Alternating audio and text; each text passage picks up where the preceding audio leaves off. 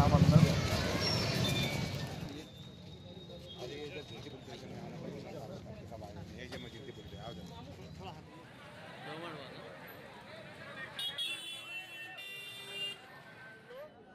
आदमी की जान गई है वो ड्राइवर को अपन ताबे में लिया है गाड़ी अपने ताबे में आप शांतता रखो।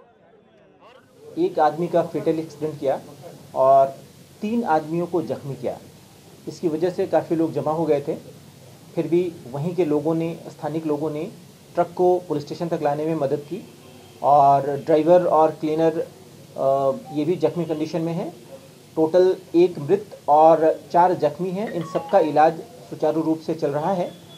परिस्थिति कंट्रोल में है। किसी भी तरीके के अफवाह पर विश्वास ना करें।